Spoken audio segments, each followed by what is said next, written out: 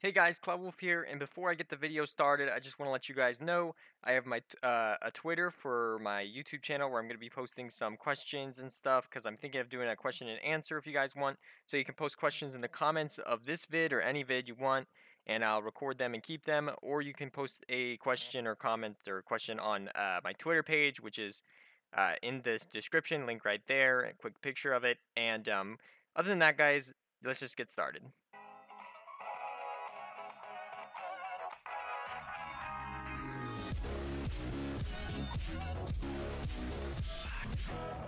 Hey guys, what is up? And today we are going to be going over uh, player-based chat, uh, player-paced chat, as suggested by Slowmo Joe on the comments page of my YouTube channel.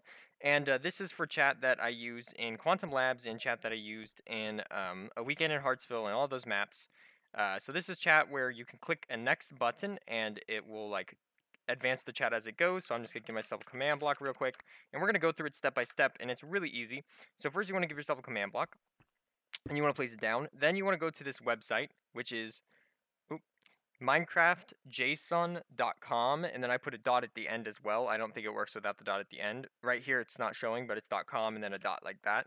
Um, previously it didn't work without putting the dot. And just to show you, here we go. So then you go to their... then you go to their tellraw and um, you change it from at p to at a up here. Then you click add text. So if you want to create it so the player is saying something, go to selector, then do at p, and I like to use the color green, okay?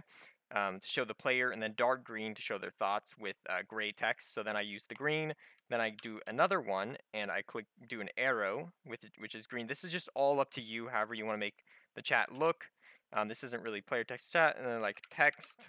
Oh wait, I am a cool guy. Haha. okay, and then you just leave it none to make it white. So it'll be at p, I am a cool guy. So you copy and paste that, then you get your text back in here, and that that little um, this will be left in the description with this saying like next. If you want to just copy the tellraw, you don't have to have it. Then you put it and you put a uh, pressure plate on top, and it'll say, I am a cool guy. So how are you going to activate this? So it's kind of uh, like pretty simple, not too complicated. So we have this text, and now we're going to add, after I am a cool guy, we're going to hit space, then the parentheses, and next. So there's two options. You can either add it on, or you can add it afterwards. So I do add it on, but I am actually going to change it to add it afterwards. And then you do, in the run command, you do slash tp at e tag equals text, tilde, and whatever direction it is. So I'm going to make it go this way, which is negative in the x, so up 2 and over 2, like that. Boom. So now if I go like this, and I put it in here again, you'll see that it says next, right? So then you're going to want to summon an armor stand. So slash summon armor stand here, then parentheses, tags, like that, and give it a tag of text. And that's really all you need. You can give it invulnerable 1 if you want to make it invulnerable. But there you go. So what's going to happen is when you click the next, it'll advance the chat like that. So if you have another one over here, it'll advance the chat. And um, another one I do is I close, take that off and I put um, person. So this will be in the uh, in the description as well. Just make sure that you be careful because there could be some like weird um, some weird squares that appear that happens when you copy long commands uh, from the chat. But so I click next, and it advances the chat. I am a cool person, so that's why all my places have like command blocks like that.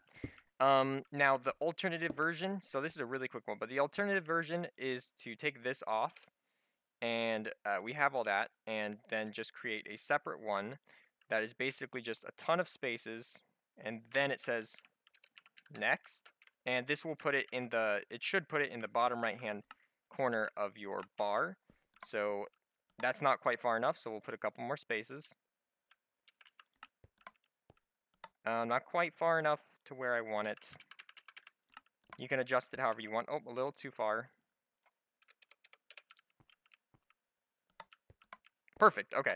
And then we can get rid of the other next. So this will just give the players a constant place to be clicking instead of having to click next. It's just down here, and if they click it, it'll do the same, teleport the text forward. Um, the last thing you want to do is do game rule, send command feedback false. Um, so this works, but if it's on a multi, if they try and run this uh, adventure map on a multiplayer server, it will not work uh, because the um, the you need to have permissions to click the next button. Um, but that's pretty cool. I'm probably going to use that bottom corner next because it's more convenient. Um, another thing you want to note is uh, the text chain can only be so long because it has to be in your spawn chunk. So you want to set the world spawn and you have a 100 by 28 by 128 area. So what you're going to have to do is put a command block at the end and find the coordinates of your next chain like that. And go, what is it? It is slash tp at e tag equals text. And then you want to get the coordinates. This is 170, 57, and then 33. So you want to get that and paste it in there. So when you get to the end, it'll teleport the text over here to the next chain. So that's how you can make it like shrunk up and kind of in a square shape instead of just a long line.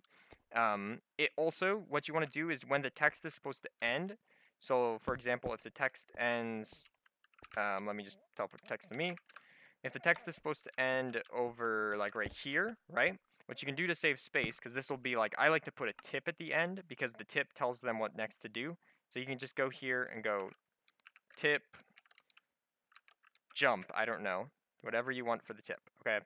And I do it in aqua so that it's um, really easy to see. Bright blue is really easy to see um, wherever aqua is, and I'm, I can just put none on there, copy and paste. So the end of your command chain, what you can do to save space is put the move forward one, two, and right there, so you can have two chains in the same line. Um, because the armor stand is going to teleport every other, and it'll never get to these commands. It'll just go here, and then here, and then here. So it'll just keep going over it, so the player can't like find the later text. Um, but make sure that you have other commands that teleport the uh, armor stand where it's supposed to go when the player is supposed to see the new text. So just teleport over here. Um, that's pretty much it. The last thing, which is a little more complicated, is to create a way so the player never misses the chat. So you have to do scoreboard, objectives, add, leave, stat dot leave game.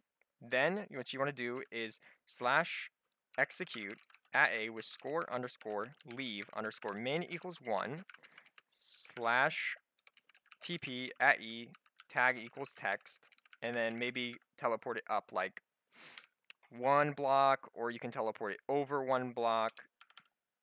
We can go like this, um, but you also need a delay. So you want to teleport it like maybe up one block.